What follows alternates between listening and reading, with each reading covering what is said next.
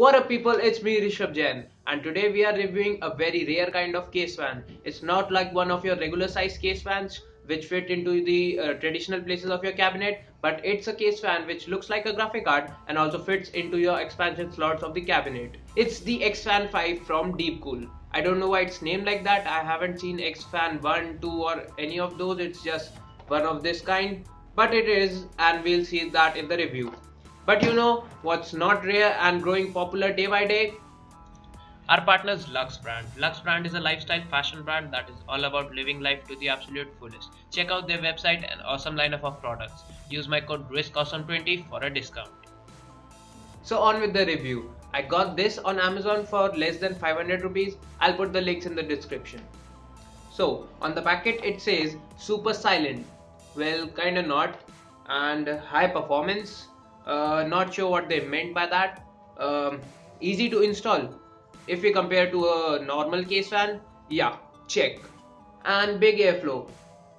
Not that big. So talking about the installation. The installation was easy. You can connect this fan two ways. Either you can connect it directly to your motherboard's fan header or you can directly connect it to your PSU's Molex connector and warning, don't connect both the connectors at the same time or you may wreck your fan. It's written well inside the box and I'm warning you forehand.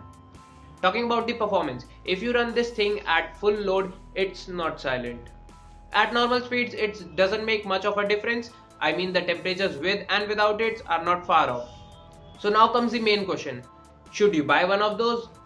Well, if you calculate the pluses, we have like it looks trendy in some cases and it helps regulate the airflow airflow inside your case. But I think only if you have enough money and you are willing to spend it on another case fan then you should go for it. Otherwise it's not that big of a difference and you will be well off with your uh, default case fans in your cabinet.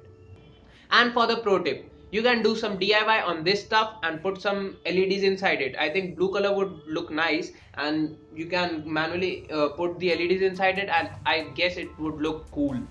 So I'll show that in my video. If I, I would be able to put the LEDs I don't know like right now and that's all.